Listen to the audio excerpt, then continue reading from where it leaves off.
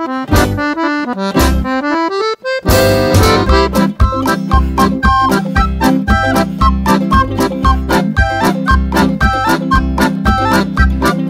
picket fence and pilot knob do run along a crooked creek.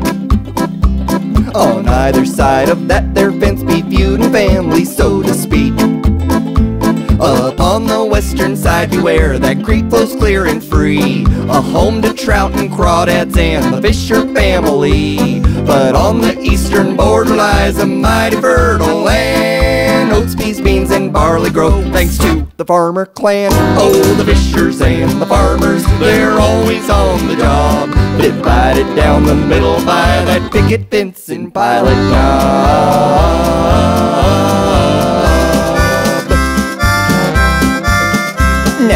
Fishers never split a catch with no one but their own. The farmers guarded every batch of any crop they'd grown. The fishers anchored for some greens or any garden fare. And the farmers liked to bite a fish, but neither side would share. The only thing the neighbors done with near an angry shout was build that four old picket fence to keep each other out. Oh, the fishers and the farmers from Buck to Billy Bob divided down the middle by that picket fence and pilot knob. One day a couple fishers was sitting on the dock when from the eastern side it seems that someone threw a rock. Well, the fishers called their kinfolk and the farmers gathered round. Everyone was angry and both sides stood their ground. The fence exclaimed, Hey, that's enough! Y'all been in the wrong.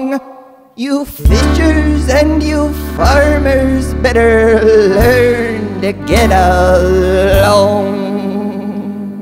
Everyone fell silent while a couple people fled. But Jimmy Jack approached the fence, and this is what he said. Whose side you on there, picket fence? And this was its reply. That question don't make any sense, and here's the reason why. I watch the fishers fish all day. I see the farmers farm. You're all about your business, never doing any harm. But then you go and fuss and fight for each other's food. And I'm the sad reminder of this doggone family feud. Well, I refuse to take up sides along your borderland, and that is my position. So this is where I'll stand. Well, the fishers and the farmers, they hung their heads in shame.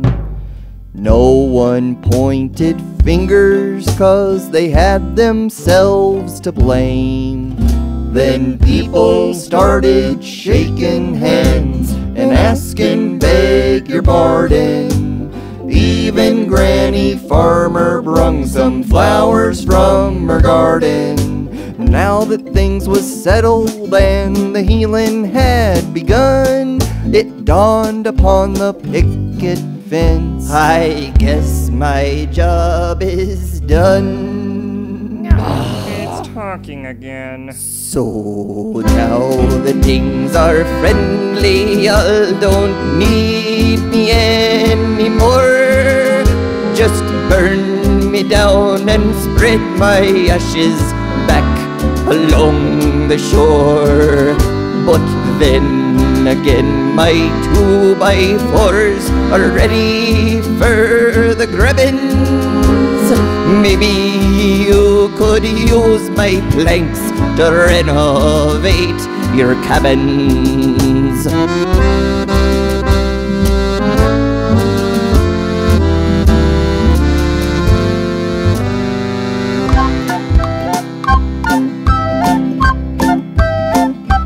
Well, the fishers and the farmers, they held a special meeting. They'd worked up quite an appetite, but no one felt like eating. They thunk and thunk and thunk some more. They'd never thunk so hard before. Then great granddaddy Fisher swore, By gum install a swinging door that either side can come and go to share the harvest bounty. Now go and fetch some hinges from the store in Cooper County. So the fishers and the farmers were now a happy bunch. Everyone was starving, so they barbecued some lunch. The picket fence was proud of them, their folk from Pilot Knob. And they all enjoyed a feast of fish and veggie shish kebab. Oh, the fishers and the farmers, like kernels on the cob. Two families once divided, two families now united. Two families now united by that picket fence in Pilot